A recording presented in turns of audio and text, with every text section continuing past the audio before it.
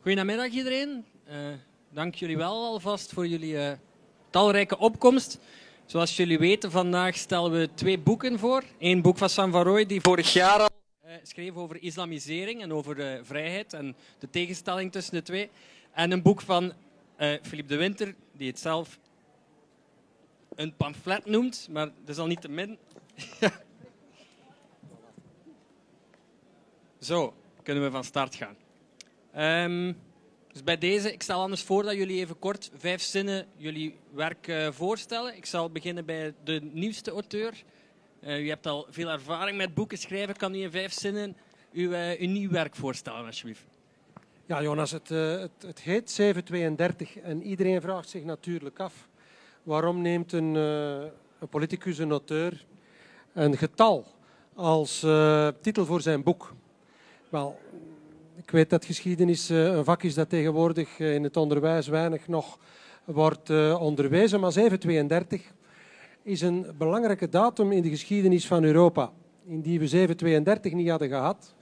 En dat is de slag bij Poitiers, waar Karel Martel de islam uiteindelijk teruggedrongen heeft. En Poitiers is niet zo heel ver van hier, u bent vijf uur rijden. Ehm, dan waren wij nu allemaal geïslamiseerd. Dan hebben we vandaag geen pint bier in de bar. Dan waren de dames vandaag uh, gekleed in een niqab of een hijab. Praten wij Arabisch. Aten we allemaal halal. En dan baden we uiteindelijk uh, Allah. En nog veel belangrijker, dan zou een boekenbeurs als deze niet bestaan. Want vrije meningsuiting, dat kun je dan ook wel vergeten. Dus ik heb dit boek 732 genoemd omwille van het simpele feit dat ik hierin kort de geschiedenis van de islam in confrontatie met het Westen, de erfvijand van de islam, heb proberen te schetsen. Waarom? Omdat geweld, oorlog, confrontatie, verovering, kolonisering in het DNA van de islam zit. Islam is de erfvijand van Europa.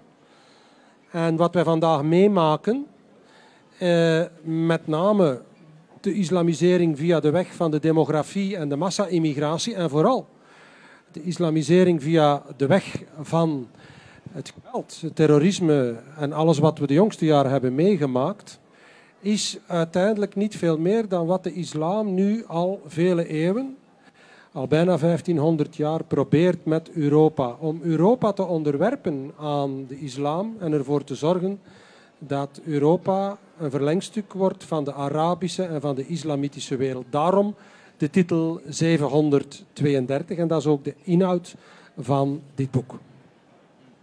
Sam, u schreef uh, vorig jaar een um, gelijkaardig boek misschien. Is het uh, correct om te zeggen dat het een meer academische versie van uh, eh, 732 is? nee, dat denk ik niet. Um, ik heb een heel ander boek geschreven. Mijn boek heet Voor vrijheid, dus tegen islamisering. Daar komt ook wel de geschiedenis van de islam in aan bod, hè, zoals in het boek van, van Philippe. Maar mijn boek gaat eigenlijk meer in op de situatie vandaag. Dus ik leg wel uit hoe de islam, net zoals Filip dat in zijn boek doet, door de eeuwen heen altijd heeft geprobeerd om te, te veroveren, te bezetten, over te nemen, te onderwerpen. Islam betekent uh, onderwerping. Maar voor ons is natuurlijk van belang, voor u allemaal, voor iedereen in Vlaanderen, in Europa, in het Westen, en trouwens ook in de rest van de wereld, uh, India bijvoorbeeld, in Azië, in Afrika, wat de islam vandaag doet en hoe de islam vandaag, in tegenstelling tot uh, in het verleden, waar de islamisering voornamelijk plaatsvond met grof geweld, hè, met, met uh, overheersing, met verkrachtingen, met massamoorden, met genocide, eigenlijk zoals de islamitische staat dat vandaag ook doet en heeft gedaan. Maar in Europa en in het Westen islamiseert de islam op een totaal andere manier. En islamisering, ik zal even die term definiëren, want dat is wel heel belangrijk is niet moeilijk om te begrijpen, betekent islamitischer worden. En dat slaat zowel op personen als op een samenleving, op een cultuur, op een beschaving. En ik leg in dit boek uit met talloze voorbeelden. Dus voor wie daarin geïnteresseerd is en vooral voor wie daar uh, de nodige argumenten en onderbouwing van wil, is dit boek een zeer goede handleiding. Want met talloze voorbeelden, vele honderden, ik had er nog veel meer kunnen geven, maar dan werd het boek natuurlijk veel te dik hoe de islamisering van Vlaanderen, van West-Europa, hoe dat vandaag stap voor stap gebeurt. En dat gebeurt via de demografie natuurlijk om te beginnen. U herinnert zich Walter de Donder, die de laatste dagen van de CD&V in de media is geweest, die heeft daar naar verwezen, naar de ont- en de omvolking. Dus steeds meer wijken worden overheerst door een grote minderheid of een meerderheid van moslims. Maar die islamisering die gaat dan verder via de moskee, via Koranscholen, salafistische Koranscholen, via halalwinkels, niet, geen alcohol meer, via de hoofddoek natuurlijk, die overal in opmars is. En in vele honderden voorbeelden laat ik dus zien hoe stap voor stap hele wijken, die vroeger gewoon Vlaams en Europees waren, hoe die vandaag islamitisch zijn. En mocht je daarin, daarmee rond ik af, mocht je in een van die wijken, en ik noem ze allemaal op, in Birmingham, in Londen, in Stockholm, in Kopenhagen, in Parijs, in Lyon, in Brussel, mocht je daar worden gedropt met een blinddoek. Je zou de helikopter instappen hier, met een blinddoek worden gedropt in een van die wijken, bijvoorbeeld in Birmingham of in Lyon. Ze doen die blinddoek van u af en ze vragen aan u, waar denkt u nu dat u bent? Wel, dan antwoordt u niet meer in Europa of in Frankrijk of in Engeland of in Duitsland. Nee, dan antwoordt u waarschijnlijk in Pakistan, in Somalië of in Marokko. En daar is dit boek één grote aanklacht tegen. Dank u, Sam en Philippe. Misschien uh, even terugkoppelen naar u, Philippe. Uh, een, um, een, groot gedeelte van uw werk gaat natuurlijk eh, over geschiedenis. Het is een beetje een geschiedenisles van de gewelddadige expansie van de islam, van Mekka tot aan Constantinopel, natuurlijk daarna ook nog door het Ottomaanse Rijk en zo. Vandaag zien we dat die islam uh, zich niet meer op die manier, tenminste militair tenminste, uh, zich ja, uitbreidt ten aanzien van ons. Is het dan correct om te stellen dat de islam een beetje van haar uh, zeg maar ballen kwijt is? Integendeel, denk ik. De islam is agressiever dan ooit en zelfbewuster dan ooit.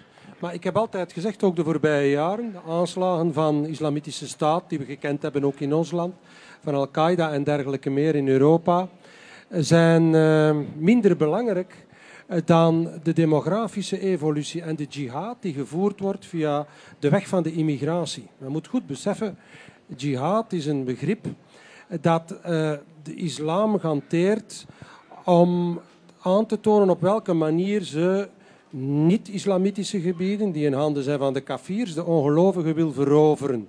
Het is de plicht van iedere moslim om te islamiseren. En dat kan via de weg van het geweld, aanslagen en dergelijke meer, maar dat kan ook via de weg van de demografie en de immigratie. En dat is hetgene wat nu volop aan het gebeuren is. En mag ik misschien verwijzen naar iets wat deze week volop in het nieuws was. Omvolking, het woord ontvolking.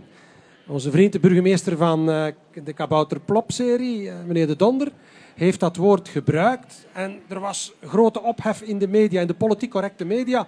Stel u voor, iemand van de CD&V had het woord omvolking, ontvolking durven gebruiken. Dat is een term die wij al lang gebruiken, die wij trouwens hebben geïntroduceerd en die precies weergeeft wat de islamitische jihad in de praktijk met zich meebrengt in steden zoals Antwerpen, Brussel, Birmingham, Stockholm, Parijs en aanverwanten. De geleidelijke, maar toch gestadige omvolking, waarbij een volk vervangen wordt door een ander. En samen met de kwantiteit komt natuurlijk ook de negatieve kwaliteit. Want samen met de bevolkingsruil komt ook de beschavingsruil. Het vervangen van een volk is niet voldoende. Het is ook het vervangen van een cultuur, een manier van leven, een beschaving, van waarden en normen. En die omvolking is misschien wel de ergste vorm van jihad, van islamisering, die we ons kunnen voorstellen. Veel ingrijpender en misschien ook op lange termijn veel gevaarlijker dan die spectaculaire en eerder symbolische aanslagen die we de jongste jaren hebben uh, gekend. Dus de islam is niet op zijn terugweg. De islam is in volle expansie, is zeer agressief in wat zij doet, zeer zelfbewust in wat zij doet en heeft maar één belangrijke doelstelling. Dat is de hele wereld tot een kalifaat uh, omvormen. En dat lijkt misschien, als we hier zo bij elkaar zitten, allemaal wat vergezocht. En u, niet iedereen uh, voelt dat op dezelfde manier aan. Maar laat mij tot slot van uh, dit onderdeel toch zeggen dat een beschaving die verdwijnt niet op enkele weken of op enkele jaren tijd. Daar gaat soms uh, tientallen jaren, soms honderden jaren over. En dat is ook voor onze beschaving zo. En ik leg in dit boekje ook onder andere uit dat landen zoals Iran, Irak, Syrië, Libië en aanverwanten, Turkije, allemaal landen zijn geweest die in het verleden een andere cultuur, een andere beschaving, een andere godsdienst kenden dan de islam. Zij waren christelijk, zij waren boeddhistisch, zij waren hindoe, zij waren zoaristisch, zij waren allerlei culturen en beschavingen die niet islamitisch zijn. De islam heeft al die landen, heel het Midden-Oosten, de helft van Afrika, stukken van de Balkan en aanverwanten, Indische schiereilen enzovoort enzovoort in Azië veroverd voor de islam. En indien wij niet opletten, is dat ook het lot dat ons als Europeanen te wachten staat. Misschien niet in één mensenleven, maar wel in die van verschillende generaties. En dat is hetgene waar ik voor waarschuw in 732. Ja, die inherente expansiedrang, die veroveringsdrang, die Philippe net uh, uitvoerig heeft beschreven, die beschrijft u ook in uw boek. En u hebt het eigenlijk in dat kader over echte moslims, beroepsmoslims noemt u hem, ze, en uh, niet-beroepsmoslims. Dus, en die laatste zijn dan eigenlijk in feite de facto afvallige moslims, schrijft u. Maar um, we zien ergens wel dat die mensen minder mak zijn dan u lijkt te beschrijven in uw werk. U schrijft dat ze volgzaam zijn en uit, uit angst en schaamte voor de beroepsmoslims in feite hun hoofd naar, naar omlaag doen zakken. Maar als we kijken naar het Midden-Oosten, toch ook een stuk een front van, van islamisering, een front tegen radicale islam, zien we dat die niet-beroepsmoslims toch ook de wapens opnemen. Dus het is misschien niet zo mak. Wel, het Midden-Oosten is natuurlijk uh, Europa en het Westen niet. En er zijn, in het Midden-Oosten zijn er heel veel, en dat is al zo lang als de islam bestaat, hè, zijn er heel wat oorlogen, strijden tussen verschillende, laten we het noemen, volkeren en secten, sectes moslims. Maar de westerling die besluit daar uh, regelmatig heel foutief uit dat er geen eensgezindheid is binnen de islam. Terwijl die oorlogen die daar woeden, die gaan natuurlijk over macht en grondgebied. Het beste voorbeeld zijn de Soenieten tegen de Shiiten. Soenieten, dat is de grootste islamitische uh, obediëntie. Die zijn met 85 procent. De Shiiten zijn met ongeveer 10 tot 15 procent. Ja, die hebben al oorlog zolang de islam bestaat. En waarover gaat die oorlog? Over de opvolging van de profeet Mohammed. Betekent dat dat een Shiïtische moslim en een Soenitische moslim, wij hebben die ook hè, in Vlaanderen, wij hebben zowel Soenieten als Shiiten, dat die fundamenteel anders denken over bijvoorbeeld rechten van vrouwen, over rechten van minderheden, over vrijheid en democratie? Nee, natuurlijk niet. Hun sharia, hun islamitisch wetsbeeld, is in grote lijnen dezelfde.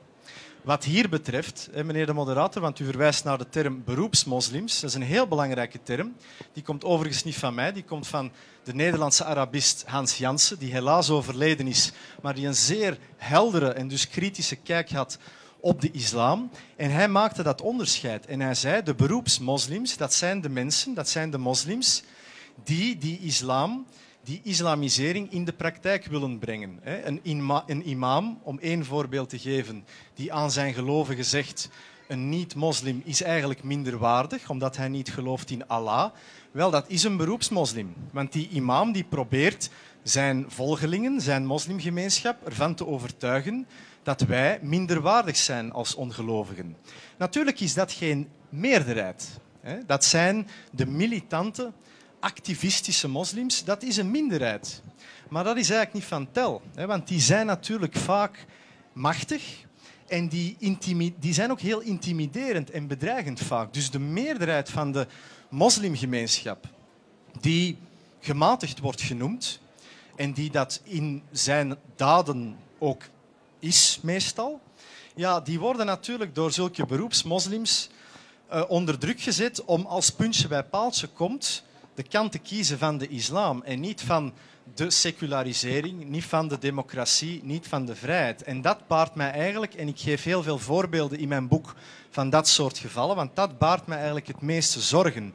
Dat je in wijken, zoals Molenbeek, dat is voor jullie het bekendste voorbeeld, denk ik, met de aanslagen, dat je daar een heel grote groep hebt van moslims die gematigd zijn, althans in hun, eh, in hun doen en laten, maar die zoveel angst hebben van de imams, van de Koranleraren, om bestempeld te worden als een slechte moslim, om bestempeld te worden als een kafir, als een afvallige, dat zij gewoon meeheulen En die mensen, we hebben dat in de geschiedenis ook gezien, dat is de stille, irrelevante meerderheid. Daar hebben wij dus eigenlijk niks aan. Die doen mee, die heulen mee, eh, al dan niet bewust en al dan niet met veel lawaai, met die militante moslims, met die beroepsmoslims. En het resultaat, zoals ik u net al heb gezegd, kunnen we zien in die, in die wijken, in al die wijken. En dat is misschien nog iets, daarmee sluit ik af, ehm, dat ik zou willen benadrukken. Philippe heeft er al terecht naar verwezen. Wij zitten hier op de boekenbeurs in een bubbel. Wij zitten hier in een bubbel. Wij zitten hier in een Vlaamse, Europese, intellectuele bubbel. Maar ga vijf kilometer verder naar Noord-Antwerpen, naar Borgerhout, en je komt daar terecht in een heel andere samenleving. In een samenleving, in een, in een cultuur waar die vrijheid van denken, die vrijheid van spreken, eh, bijvoorbeeld over islamkritiek, waar die niet geldt, zoals hier op de boekenbeurs of zoals op andere plekken in onze samenleving. En dat baart mij enorm veel zorgen, want mijn uh, conclusie is eigenlijk, die wijken, die zijn wij kwijt. Die zijn niet meer Vlaams, die zijn niet meer Europees, die zijn niet meer van ons, maar daar heerst een cultuur die haaks staat op de onze. Ja,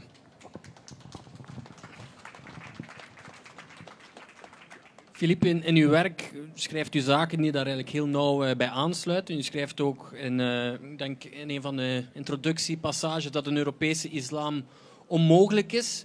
Um, ziet u dan niet bijvoorbeeld in Albanië of andere Balkanlanden daar een, een misschien praktisch experiment of is dat, uh, is dat utopie? Europese islam is iets dat gecreëerd wordt door politiek correcte politici die geloven in de multicultuur. En die tot de conclusie zijn gekomen dat ze via de massa-immigratie die ze altijd hebben bepleit, het eh, paard van Troje hebben binnengehaald. Um, en dat uh, uit dat paard van Troje nu die islam uh, is gekomen, die niet van plan is om een compromis te sluiten met onze samenleving, die niet van plan is om een op het akkoordje te gooien met onze manier van leven, die van plan is om hun ding te doen en ons te onderwerpen aan hun godsdienst, aan hun ideologie, want het is veel meer dan een godsdienst, het is een politieke ideologie. En dus de bevolking heeft schrik. De bevolking merkt ook wel dat het de foute kant uitgaat. Dat die islam niet integreert, zich niet aanpast, laat staan, assimileert dat die, die moslims uh, fanatieker dan ooit hun hoofddoeken en hun jellabas en al hun burkas en aanverwanten blijven dragen. Zelfs in de tweede en de derde generatie. Dat halal oprukt, dat die islamisering oprukt, dat Arabische opschriften op de ruiten in de winkelstraten, in de ghettowijken de regel zijn in plaats van de uitzondering, enzovoort, enzovoort, enzovoort. Een stad als Antwerpen telt ondertussen 52 procent uh, islamitische schoolkinderen in het lagerstedelijk onderwijs. Daar is het al zover. Hè? Ik bedoel, we hebben in deze stad 65 eh, moskeeën. Uh, die heel veel meer volk trekken dan onze katholieke kerken op dit moment. Enzovoort, enzovoort. Die islamisering in steden is reeds een feit. En de bevolking heeft schrik voor dat alles. En dus wat zeggen de politici die altijd proberen om de publieke opinie te paaien, gerust te staan. Komt wel goed, het is in orde, stemt voor mij binnen een jaar of binnen een paar weken en dan komt alles terug in orde. En dus moet men de bevolking een illusie verkopen. En die illusie dat heet de Europese islam. Dat is de islam die zich aanpast aan uh, uh, de verlichting, men noemt het ook de verlichte islam, die accepteert dat er een scheiding is tussen kerk en staat. Een islam die accepteert dat er gelijkheid is tussen man en vrouw, die accepteert dat er vrijheid van meningsuiting bestaat, die alles overboord gooit wat eigen is en fundamenteel belangrijk is voor de islam. De islam is een theocratie. Wij zijn een democratie. Dat is een fundamenteel verschil. Hè? Dat betekent dat wij ons als politici nu en dan, nu en dan, ondergeschikt maken aan de wil van het volk. In een theocratie is dat allemaal niet aan de orde. Daar maakt het volk zich ondergeschikt aan de wil van Allah, van God. Dat is een theocratie. En al die islamitische landen, die allemaal lid zijn um, van de OIC, de Organization of Islamitic Countries, dat is de enige internationale islamitische landenorganisatie die bestaat, georganiseerd op basis van een godsdienst, die verwerpt de democratie. Die verwerpt ook de rechten van de mens. Die hebben hun eigen islamitische rechten van de mens ondergeschikt aan de sharia, ondergeschikt aan de Koran. Dat wordt allemaal niet verteld. Dat wordt allemaal onder de mat geveegd, want dat is politiek zeer incorrect. Maar dat betekent ook dat zo'n Europese islam een fata morgana is, een illusie die gecreëerd wordt om de bevolking te paaien in de hoop dat het allemaal wel zal meevallen. Wel, ik zeg u, het zal niet meevallen. Het lot dat ons beschoren is, is het lot dat zoveel andere landen in de wereld hebben meegemaakt toen zij dachten dat ze het op een akkoordje zouden kunnen gooien met de islam en dat er wel zoiets als een vreedzame cohabitatie, een vreedzaam samenleven met de islam zou kunnen ontstaan. U moet mij eens een paar landen in de wereld noemen waar de islam de meerderheid van de bevolking uitmaakt en waar er een vreedzame cohabitatie, een vreedzaam samenleving op gelijke voet met gelijke rechten tussen de islamitische cultuur en andere cultuur bestaat. Die bestaat niet in deze wereld. De islam heerst en overheerst en zal dat altijd doen. Dat is eigen aan een theocratie. En dat moeten wij goed beseffen. En ik zeg dan ook aan iedereen, in tegenstelling tot mijn goede vriend Geert Wilders. En we zijn op de boekenbeurs. Juist hier moet je dat zeker doen. Koop die Koran. Als je hem ergens kunt vinden, koop hem en lees hem. Achterstevoor, want het is nu eenmaal zo dat de Koran van achter naar voor wordt gelezen. In de vele soeras die het uitmaakt. Dan weet u wat uw lot zal zijn als kafir, als ongelovige, als zij het ooit voor het zeggen krijgen. Besef dat in 1934, 36, toen het nationaal socialisme nog niet aan de macht was, men ook al perfect kon weten wat Hitler en zijn NSDAP zou doen. Je moest alleen maar mijn kamp lezen. Het stond er allemaal in. Wel, het staat ook in die Koran. Dus, je moet de Koran niet verbieden. Je moet de Koran niet verscheuren. Je moet de Koran niet verbranden. Je moet hem vooral lezen. Je moet altijd weten wat uw vijand wil, wat uw vijand te zeggen heeft, wat zijn strategie en zijn doelstellingen heeft. En de vijand vandaag, dat is de islam. Ja. Sam, om daar opnieuw eh, bij aan te sluiten. Dus we hebben uh, nu het onderscheid gezien tussen uh, beroepsmoslims en niet-beroepsmoslims. De, de eigenlijk de facto afvallige moslims. En anderzijds misschien de mogelijke utopie van een Europese islam. Daarnaast hebben we in feite ook nog wat u noemt als fellow travelers. Dat zijn de bedrijven die omwille van commerciële belangen halalproducten gaan aanbieden, maar ook misschien politici en dergelijke meer die islamisering gaan faciliteren. Wat kunnen wij daar als burger, als consument, als mens, als niet-moslim, daar dan aan doen? Als die facilitatie zodanig krachtig is?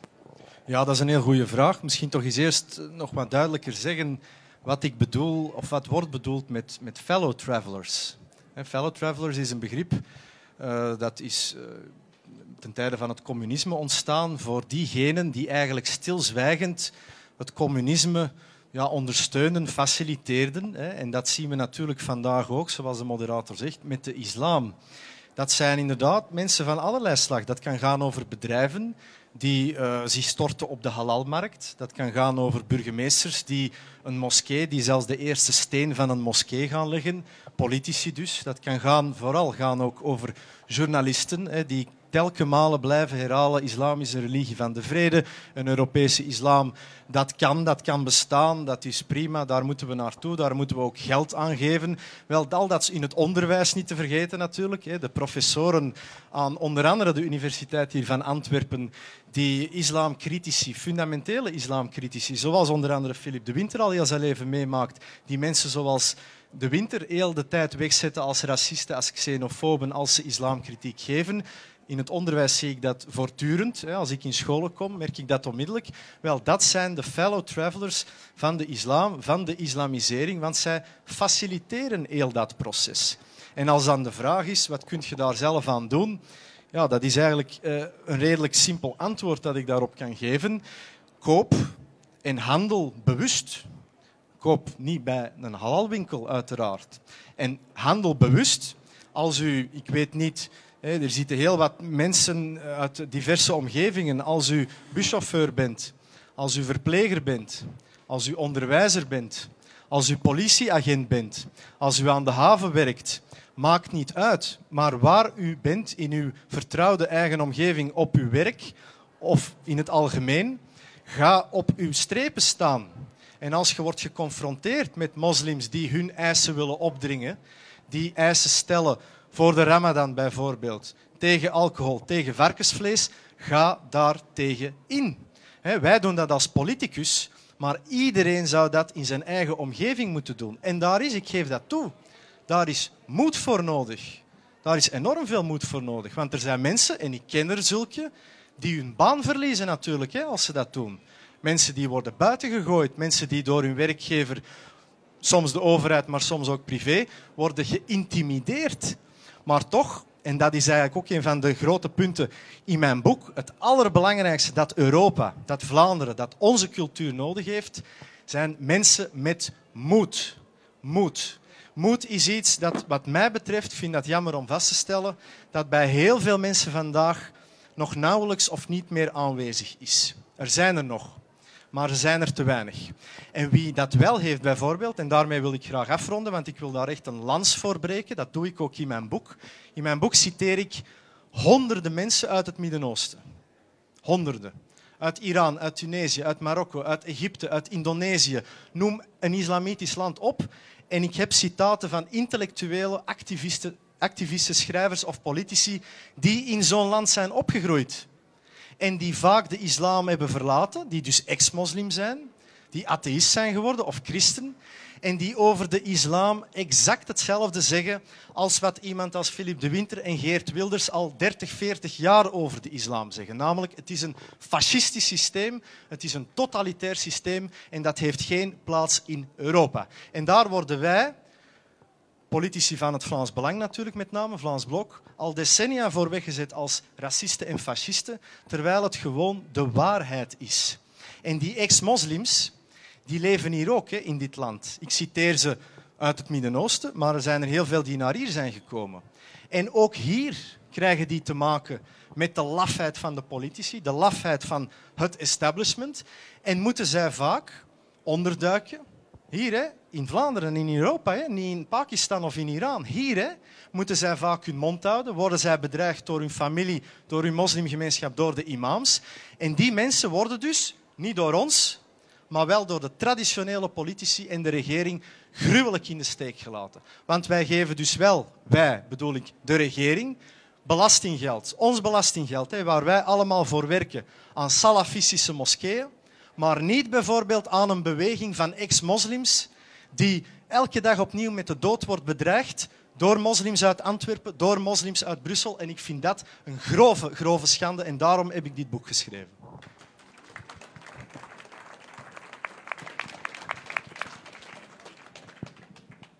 Philippe, in uw werk uh, haalt u ook de demografische realiteit aan. U had het daarnet natuurlijk al over uh, ontvolking, omvolking. Sam heeft natuurlijk uh, het aspect ook uitvoerig beschreven. Maar u haalt een aantal studies aan, dus van het internationale VZW, die daar studies rond publiceert, Pew. Ehm, schrijft u, ik ken het natuurlijk niet volledig van buiten, maar momenteel zitten we ongeveer met een kleine 8% moslims in België. En dan heeft Pew een aantal projecties uh, gemaakt. Dus op basis van non-migratie moesten we nu vandaag een migratiestop introduceren tot maximale migratie. Dat is dan de asielmigratie plus de conventionele migratie via gezinsvereniging en dergelijke meer. En in dat geval zouden we naar 18,2% moslims gaan in 2050. Dus dat is in feite dan een beetje worst case scenario eh, tussen haakjes. Is dat dan de eindmeet? Zijn we dan volledig geïslamiseerd? Of, of wat voor moment zitten we dan? Wanneer zijn we volledig geïslamiseerd? Dat, uh, dat is natuurlijk een open vraag die ieder voor zichzelf moet uh, voor een stuk uitmaken. Er is geen criterium voor. Maar wat belangrijk is, dat, dat is dat, en is het probleem dat feitelijk nooit uh, aan bod komt in de media, ook omdat het politiek niet correct is, helaas. Men heeft het altijd over de klimaatopwarming. maar men vertelt nooit waarom al die dingen feitelijk gebeuren. Het is industrialisering. Uh, het is te veel aan CO2. En het is zo en het is zo. Ik stel me altijd de vraag, hoe komt het dan dat er alsmaar meer industrialisering is? Waarom is er alsmaar meer CO2? Waarom uh, uh, zijn er al die klimaatproblemen? Het antwoord dat een aantal demografen, en Pierre Chonu en anderen daarop geven, is simpel. Omdat er te veel mensen zijn. Omdat er te veel mensen zijn. Een paar cijfers die ik ook in dit boek uh, schets. En in ieder boek dat ik schrijf haal ik die cijfers geactualiseerd aan. We waren bij het begin van deze eeuw, 1900, de vorige eeuw alweer. Uh, maar ik ben van 1962, voor mij is dat mijn eeuw. In 1900 waren we nauwelijks met iets meer dan 1 miljard mensen op deze planeet. Vandaag zijn we met 6,7, 7,6, excuseer, met 7,6 miljard mensen op deze planeet. We zullen in het jaar 2030 met 9,6, 9,7, 9,8 miljard mensen op deze planeet zijn. Weet u hoeveel mensen dat er iedere dag geboren worden op deze planeet? Ik zal het u vertellen. Ongeveer 250.000. 250.000.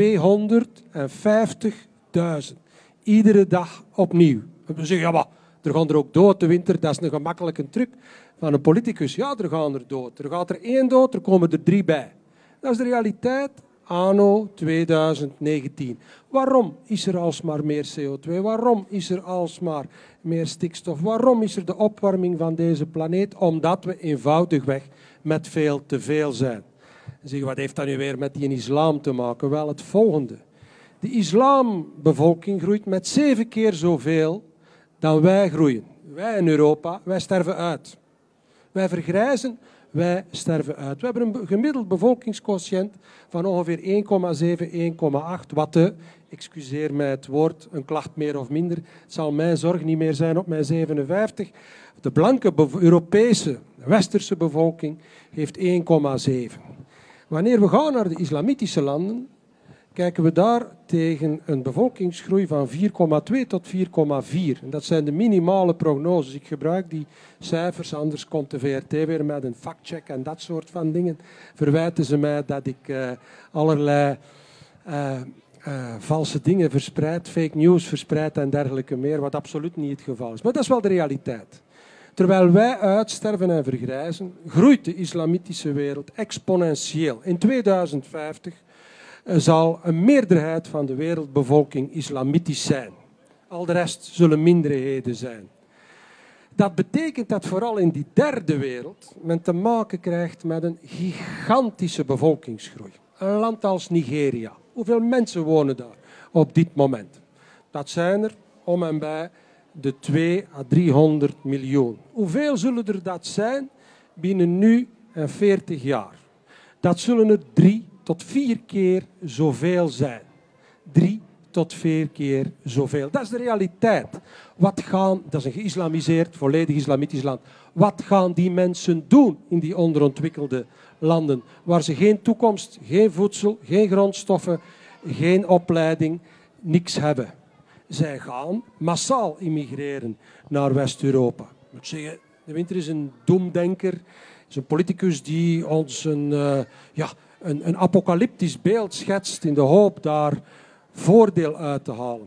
Absoluut niet, op geen enkel moment. Het is de realiteit die men niet vertelt aan de bevolking in Europa, aan de westerse wereld.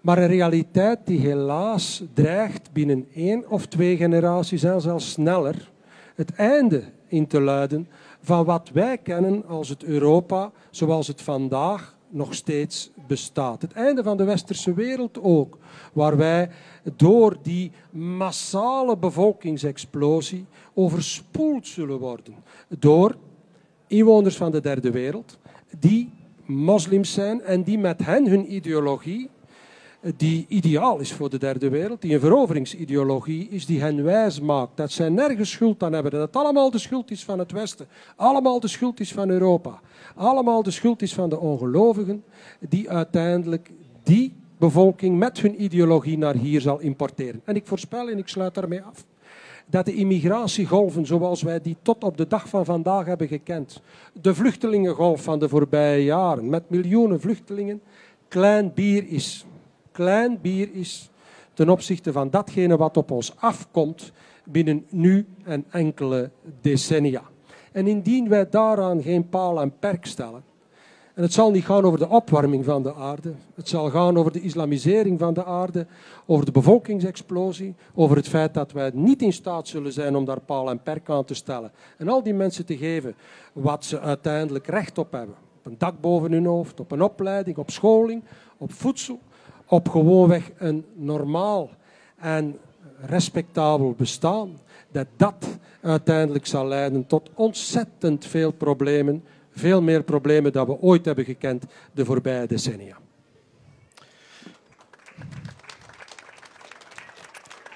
Wel, wie zich, uh, wie zich afvroeg, beste mensen, waarom wij al uh, decennia pleiten voor een migratiestop, dat was dus het antwoord. En ik zou daar nog een aantal cijfers aan willen toevoegen. Philippe heeft het over een land als Nigeria gehad. Wat is nu de essentie van het probleem van zulke migratiestromen die naar hier komen. Neem nu een land, ik zal er één eh, typerend voorbeeld voor u uitkiezen, een land als Afghanistan. Wij hebben de afgelopen jaren een grote, een significante influx gehad van mensen uit Afghanistan. Dat zijn voor 99 procent zijn dat moslims. Afghanistan, u kent dat land, in grote mate geïslamiseerd. Dat is een hellhole, zoals Trump uh, het zo goed zegt. Dat is een islamitische hellhole. Voor vrouwen, voor vrijdenkers, voor homo's, voor niet-islamitische minderheden is dat een hellhole. Wel, via de asiel- en de vluchtelingenstroom heeft onze regering de voorbije jaren, zeg maar de voorbije ja, tien jaar, vele tienduizenden van die Afghaanse moslims een vluchtelingenstatuut gegeven. Waarom? Die mensen die zijn op de vlucht. Waarom? Ze worden natuurlijk vaak met geweld geconfronteerd in dat land, met politieke vervolging, af en toe oorlogssituaties in bepaalde regio's. Dus die krijgen het vluchtelingenstatuut. Onderzoeken, het bureau is daar net al genoemd, het Pew Research Center, dat onderzoeken doet, opiniepeilingen naar de ideeën, de opvattingen van moslims wereldwijd, hier, maar ook in die islamitische landen die tonen over de Afghaanse moslims een aantal dingen aan. Wat denkt een doorsnee Afghaanse moslim? Wel, als je daar een onderzoek naar doet, dan merk je dat 80 tot 90 procent van de moslims in Afghanistan vrouwen minacht, homoseksuelen minacht, vrij onderzoek en vrij denken minacht, de democratie minacht. Kortom, 80 tot 90 procent van die moslims in Afghanistan heeft totaal niets met alles waar wij voor staan, met onze normen, waarden, vrijheden, noem maar op. Wel, u kunt zelf nu de rekensom maken. Als hier op een jaar of tien x aantal tienduizenden Afghanen binnenkomen, dan hebben wij dus een aantal tienduizenden, wat ik zou noemen dan, of wat ik heb genoemd, beroepsmoslims of sharia-moslims binnengehaald. Ik heb wel eens gezegd, de regering importeert vandaag de molenbeken van morgen. Want dat is er gebeurd. Dus die Afghaanse moslims, zijn ook Irakezen veel bij, Syriërs, u heeft dat wel gevolgd, die komen in dat opvangcentrum. En als ze erkend worden, dan moeten zij daar weg. Dan moeten zij in onze steden, in onze gemeenten, in onze samenleving hun plaats vinden, een woning zoeken. Vaak een sociale woning uiteraard. Maar dat zijn dus mensen die nogmaals, vrouwen minachten, homo's minachten, niet-islamitische minderheden minachten. Dus ik vraag mij dan af, althans, ik vraag het mij niet af, ik weet het. Wat gaan die doen in onze samenleving? Gaan die zich door een of ander cursusje, waar dan zo stoer over wordt gedaan, een inburgeringscursus die nu wat meer geld kost, of een nieuwkomersverklaring, gaan zij zich omvormen tot Vlaamse Europese modelburgers? Ik durf het te betwijfelen. Ik durf het te betwijfelen. En ik niet alleen, ook de ex-moslims en de vrijdenkers uit de moslimwereld, die zeggen dat ook. En dat is ook logisch. Wij zijn allemaal gepokt en gemazeld in de Europese beschaving die doordecemd is van het christendom, van eh, de Griekse filosofie, van het Romeinse recht. Dat is onze habitat, dat is onze cultuur, dat zit diep in onze vezels. Als wij morgen migreren naar Somalië, of naar Nigeria, passen wij ons daar dan aan? Kunnen wij ons daar dan aanpassen aan het sharia-recht, als we dat al zouden willen? Natuurlijk niet. En zo is dat ook met al die mensen, moslims uit die landen die naar hier migreren. En dus is de enige mogelijkheid dat wij die kraan dichtdraaien. Dat wij die kraan dichtdraaien. Niet alleen omdat, hè, vanwege, en dat is een terecht punt, vanwege de overbevolking. Hè, onze, wij hebben maar een beperkte oppervlakte in Vlaanderen. Wij hebben een beperkte mogelijkheid tot huisvesting. We hebben een beperkte mogelijkheid tot het verlenen van diensten aan mensen. De files, al onze wegen zitten dicht, hè, dus dat is een terecht punt. Maar ook vanwege die cultuur.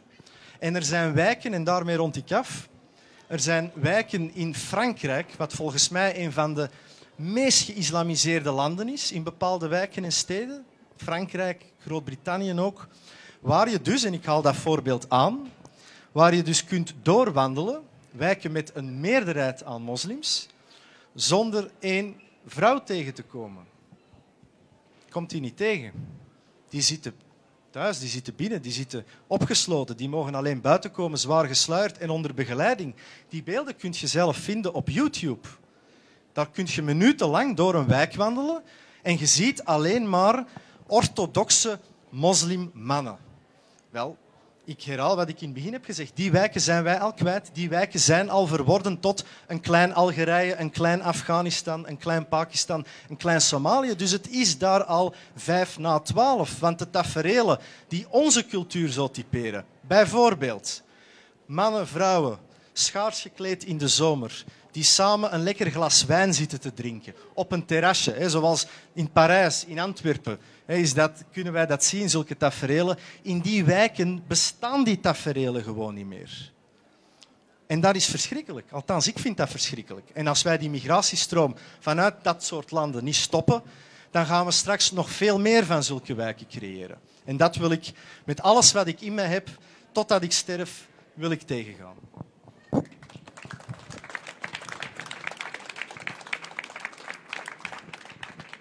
Ik ga nog even eh, de advocaat van de duivel spelen, als je het mij eh, toelaat. Um, dus natuurlijk, jullie werken gaan uit van een grote focus op die islamisering en natuurlijk ook allerlei zaken dat daarbij komen. Bepaalde gebruiken dat we niet meer kunnen doen, bepaalde zaken die vrouwen niet meer kunnen aandoen en dergelijke meer.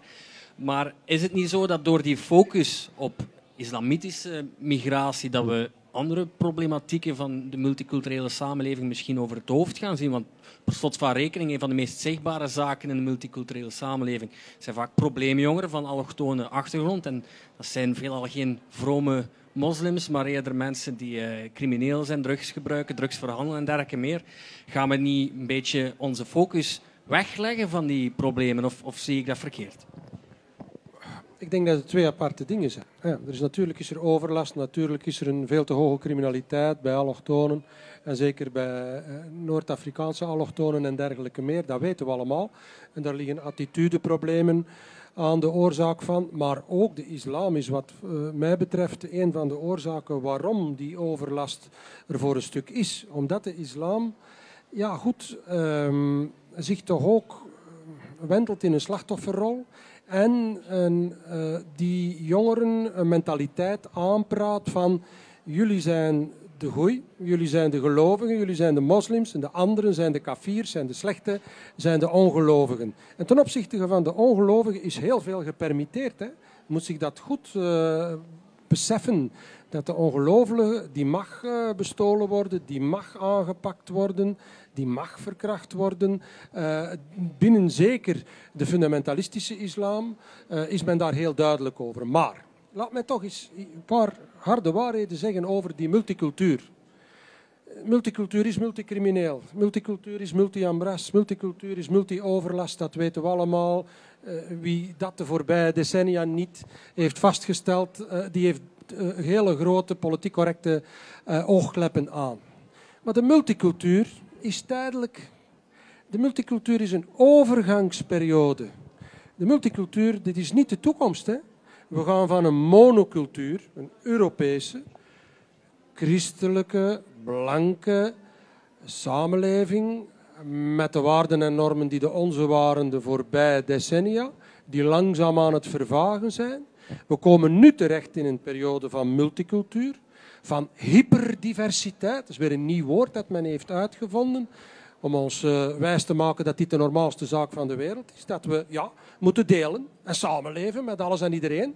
En dat er geen leidcultuur meer is, maar dat iedereen zijn eigen ding doet. Al naar gelang de wijk waar men leeft, de straat waar men leeft, de stad waar men leeft. Uh, is het deze of een andere cultuur? Allemaal gelijk, allemaal gelijkwaardig? Uiteraard niet, maar dat is wat men nu probeert wijs te maken.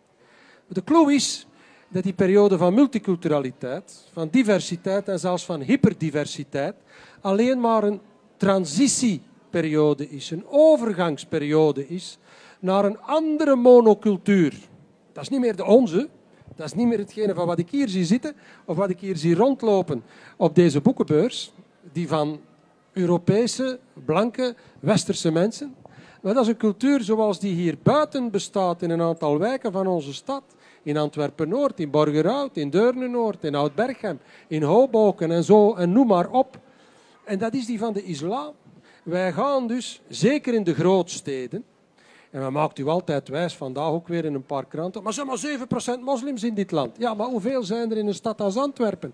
Het gaat over een inktvlek die zich langzaam maar zeker verspreidt. Dat het platteland nog niet is besmet of geïnfecteerd door de kankervlek, heeft niks te maken met het feit dat het wel zo is in de grootsteden waar u de toekomst ziet van wat u morgen gaat maken. Als u wil weten wat er gaat gebeuren in Schilden, in Schravenwezel, in Braschaat, waar het nu nog mooi toeven is in de residentiële wijken van onze grootstad, kom dan eens kijken hier bij ons in Antwerpen en dan weet je wat de toekomst zal zijn van uw kinderen en uw kleinkinderen en uw achterkleinkinderen. Dus van monocultuur via multicultuur naar monocultuur. Van een Europese westerse monocultuur die blijkbaar slecht en verderfelijk was, die dringend moest vervangen worden door het nieuwe heilsbeeld, zijnde de multicultuur, evolueren we naar een nieuwe monocultuur en dat zal de islamitische zijn, op zijn minst in de grootsteden. En dat is het grote probleem. En dat vertelt men niet aan de bevolking. En men denkt, het zal zijn tijd wel duren. En dat is ook zo. Want politiek rekent in termen van generaties. Nooit in termen van beschavingen. Men rekent in termen van generaties, men rekent in termen van de gemiddelde leeftijd van een mens. Uw bewust leven speelt zich af op ongeveer 50, 55, 60 jaar. Vanaf u 17, 18 tot wanneer u hoogbejaard bent, 75, 80 of ouder. En in die 60 jaar, dat is voor ons het referentiekader voor wat er verandert in een samenleving, voor maatschappelijke aanpassingen, nieuwe dingen die zich manifesteren. En in ons leven is er heel veel veranderd. Denk maar aan dit domme machientje, de gsm en alles wat erbij is komen kijken, sociale media enzovoort enzovoort. Maar ik herhaal, ik heb het al gezegd eerder in mijn betoog, en het staat ook in dit boekje 732. Beschavingen worden niet geruild op basis van de voor ons gangbare termijn van wat ons referentiekader is. Beschavingen worden ingewisseld en geruild op termijn van verschillende generaties. En wij maken maar een deeltje van die transitie mee. En wij als politici moeten niet alleen denken aan de volgende begroting, het volgende regeerakkoord, de volgende coalitie die moet gesloten worden. Wij moeten denken aan de toekomst, aan de generaties na ons. En daarom is de strijd die wij voeren voor het behoud van onze cultuur, van ons erfgoed, van onze beschaving, van onze waarden en normen, van onze manier van leven. Misschien niet meer belangrijk voor mezelf, ik ben er 57, ik ga misschien in het beste geval nog 20, 25 jaar mee. Maar wel voor mijn kinderen en kleinkinderen en achterkleinkinderen. Daar gaat het over.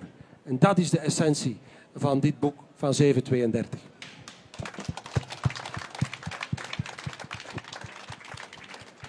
Moeten natuurlijk ook de tijd uh, in het oog houden. Dus ik stel voor dat we eerder naar het conclusiegedeelte gaan. Uh, wilt je daar nog kort iets aan toevoegen? Ik zie u... Ja, heel kort om op uw vraag in te gaan. Uh, als er, zoals deze zomer weer het geval was, sprake is van zwembadterreur. U kent die term, denk ik wel, hopelijk wel, waarbij zogenaamd allochtone jongeren of zogenaamd jongeren uh, meisjes lastigvallen, aanranden, families terroriseren enzovoort, dan gaat dat niet over Chinezen. Hè. Dat gaat niet over boeddhisten. Hè. Dat gaat niet over Joden. Hè. Nee, dat gaat altijd over moslims. En in die zin heeft Filip dat heel juist gezegd. Het is vanuit hun ideologie, de islam, dat zij onze mensen, onze niet-moslimmensen, onze niet-islamitische mensen en zeker de vrouwen, de meisjes, terroriseren.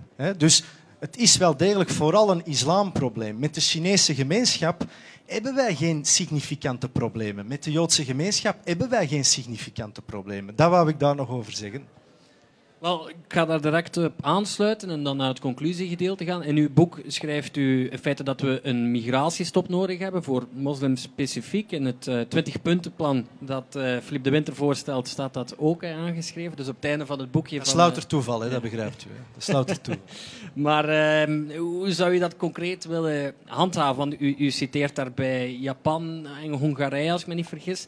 Maar die landen hebben natuurlijk geen specifieke migratiestop ten opzichte van moslims, maar, maar een eerder streng migratiebeleid, denk ik dan. Dat klopt. En het ene land is natuurlijk voor de migrant veel aantrekkelijker dan het andere land. Dat zult u wel begrijpen. Wij zijn het land van melk en honing in de wereld. Dat mag wel duidelijk zijn. Wat wij moeten doen, en ik verwijs inderdaad naar Japan en Hongarije, louter om het feit dat die landen niet de problemen met de islam en de islamisering hebben zoals wij die hebben, om het heel simpele feit dat daar nauwelijks moslims zijn. Om aan te geven dat het in beginsel een demografisch probleem is. Wat moeten wij doen? Ik zal dat kort toelichten. Wij moeten eindelijk eens, als wij een land willen zijn, en ik ben natuurlijk Vlaams nationalist, voor mij is Vlaanderen het land, moeten wij niet alleen onze eigen grenzen controleren en bewaken, want een land zonder grenzen is gewoon geen land. En wij zijn dus ook geen land, want wij hebben geen grenzen. Iedereen rijdt zomaar onze grens over vanuit Nederland, Luxemburg, Duitsland.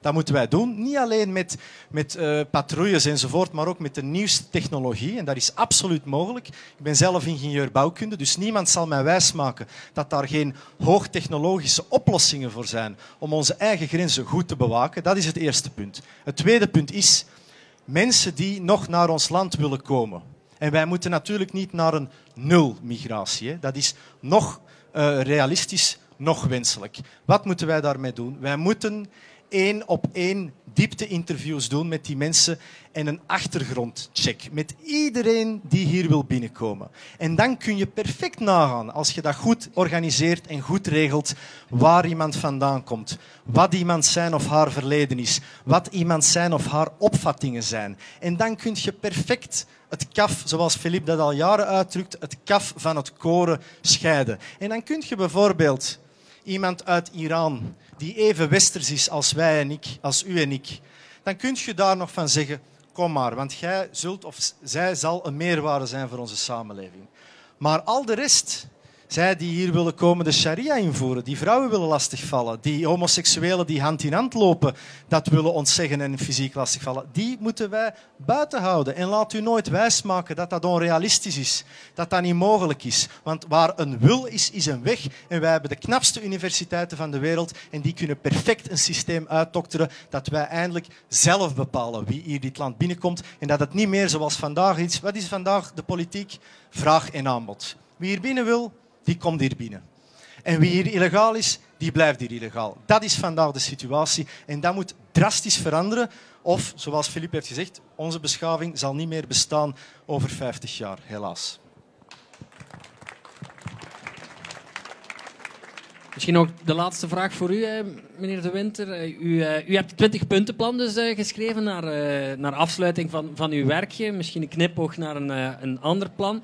Um, ik heb een aantal dingen hier opgeschreven dat mij wel opvallend leken, misschien uh, jullie ook. U wilt bijvoorbeeld een halalbelasting invoeren. Lijkt u dat niet misschien een beetje onpraktisch? Of hoe ziet u dat concreet? Het is vooral onpraktisch voor de moslims natuurlijk, niet voor ons. Maar dat heel terzijde. Um, kijk, in Europa hebben we de veerkracht die noodzakelijk is om ervoor te zorgen dat we al diegenen die onze beschaving ten gronde willen richten, dat we die altijd uh, hebben terug kunnen drijven en verslaan. Dat hebben we gedaan in 732, daarom de titel van dit boek. Uh, Karel Martel heeft dat gedaan, de slag bij Poitiers. We hebben dat gedaan in 1683, dat was de slag bij Wenen. Uh, waar prins Eugen van Savoie hetzelfde heeft gedaan. Mensen die allemaal veel te weinig herdacht worden in onze nationale geschiedenis. Um, en we moeten dat dus noods maar een derde keer doen. En ik noem het een Europese reconquista. En we hebben daar ervaring mee met die reconquista. De reis Catholica. Ik kom juist terug van een kort reisje met mijn echtgenote naar uh, Andalusië. Dat noemde vroeger, dat heeft 700 jaar El Andalus genoemd. En daar zaten de Almahiden. Dat was een, uh, ja, een moslimkalifaat geworden. Verschillende moslimkalifaatjes daar rond Granada, Sevilla en aanverwanten. Jaén en aanverwanten, waar de islam heerste. En 700 jaar hebben zij dat gedaan en geprobeerd om daar, van daaruit uh, heel Europa trouwens opnieuw te veroveren voor de islam. En ook daar hebben ze na 700 jaar kunnen terugdrijven. Mijn lichtend voorbeeld is altijd El Cid geweest. El die Valencia veroverd heeft op... Uh, dat is een mooie film op met Charleston Heston, zeker kijken. Beetje oud al, maar goed. Um, waar uiteindelijk blijkt dat Europa altijd de ruggengraat heeft gehad, altijd de wil heeft gehad en de moed heeft gehad om Europa Europees te houden. Wel, die daadkracht, die ruggengraat, die moeten we opnieuw durven aan de dag leggen. En dan gaat het niet alleen over 20 of 70 puntenplannen. Ik ben goed in het schrijven van puntenplannen. Maar dan gaat het vooral over die wilskracht, over moed, over durf, over ruggengraat, identitaire ruggengraat. En daar vrees ik dat die gebroken wordt. Gebroken wordt door de profeten van de multicultuur. Door de pleitbezorgers van het zogenaamde valse antiracisme. Door diegenen, de, de, de cultuurnihilisten die het voorstellen alsof onze cultuur, onze beschaving, onze manier van leven gelijkwaardig is en gelijk is aan alle andere culturen en beschavingen waar ook ter wereld. Terwijl dat niet waar is. En dus zeg ik, en dat is het belangrijkste boodschap die ik vandaag wil meegeven. Herwin uw identiteit. Durf fier te zijn op wie je bent. Europeaan, Vlaming. En durf vooral de superioriteit, de superioriteit, gevaarlijk woord in deze politiek correcte tijden, de superioriteit van onze beschaving, van onze manier van leven uit te dragen. Want als wij niet geloven in de superioriteit van de vrije meningsuiting, wat hier volop beleden wordt op deze boekenbeurs, als wij niet geloven in de superioriteit van de scheiding tussen kerk en staat, als wij niet geloven in de superioriteit van de gelijkheid tussen man en vrouw, als wij niet geloven in de superioriteit van de democratie, dan is het over en out. En dan hebben we het alleen maar aan onszelf te danken.